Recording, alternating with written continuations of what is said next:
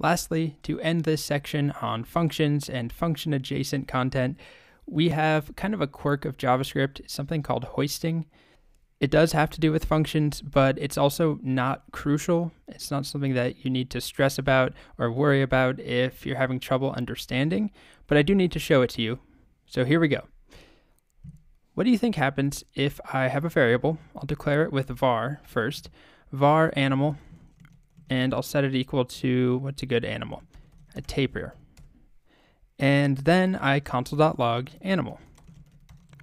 This probably is obvious, hopefully. If I run this code, it prints it out. But what if I switch the order up?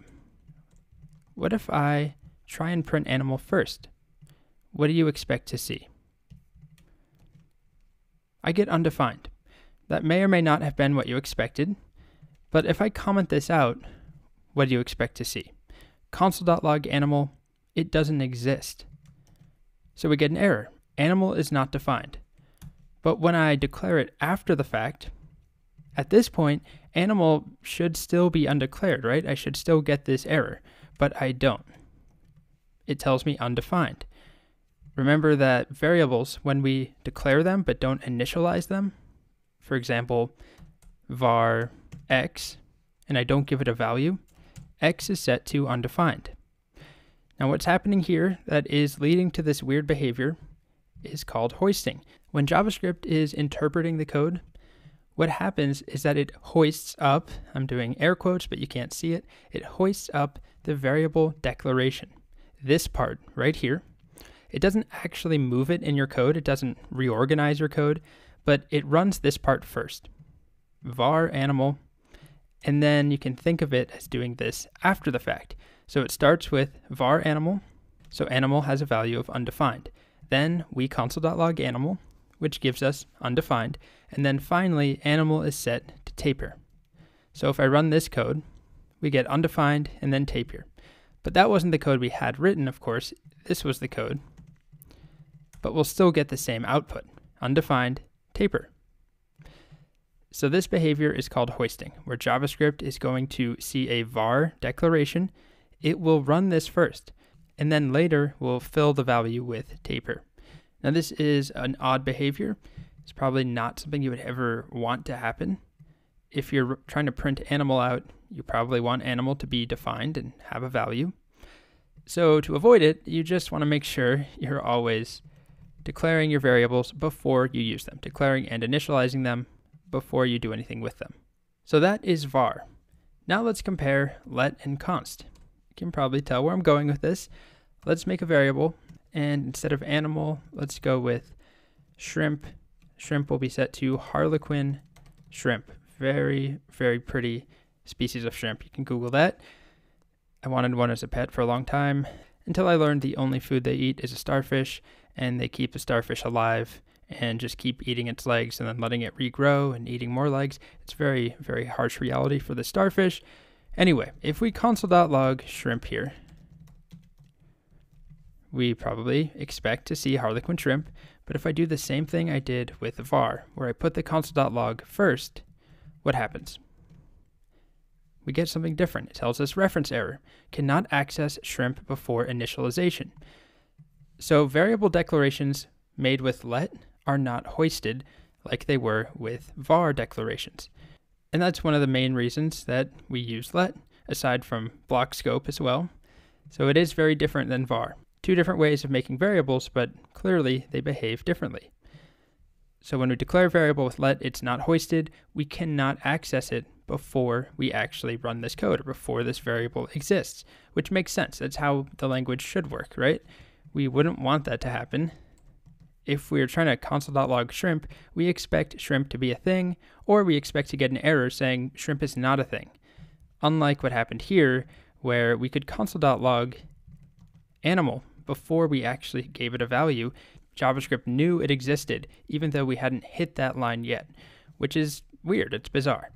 Now, if I do the same thing with const instead of let, we get the same behavior. So let and const are not hoisted. Now, this brings us to functions. With functions, if we write a function declaration like function um, howl, which will console.log something like that. If I call howl after the fact, clearly it works. We've done that a million times. But if I call howl before, what do you think happens? It still works. So functions, at least function declarations that we have here, a function statement, those are hoisted. You can think of them as being put at the top of your file. So all the way up at the top, actually. That's not actually happening. It's just the JavaScript interpreter is running across these lines, it's processing these lines first so that we can call howl, which is also unexpected. What's interesting is that if we instead write our function using a function expression, so I'll declare a variable, I can use var or I could use let. I'll do var, let's do a function called hoot, and it will console.log Ooh, ooh. I'll call hoot down below. We know that works. If I try and call hoot first, this time it doesn't work.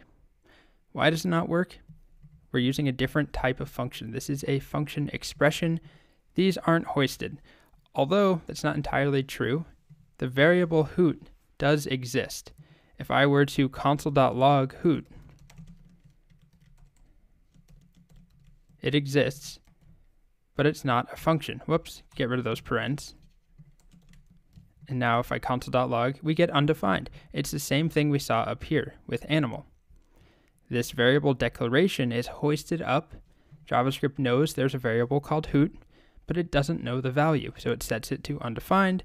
So if I try and execute hoot with parentheses, it's trying to call undefined, which you can't do.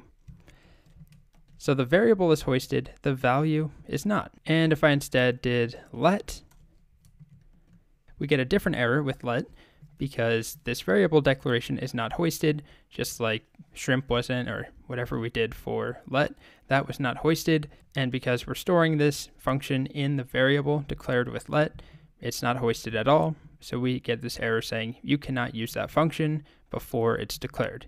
You can't access hoot before it exists, which makes sense. You shouldn't be able to do that, but you can with function declarations and when you use var. So that's hoisting.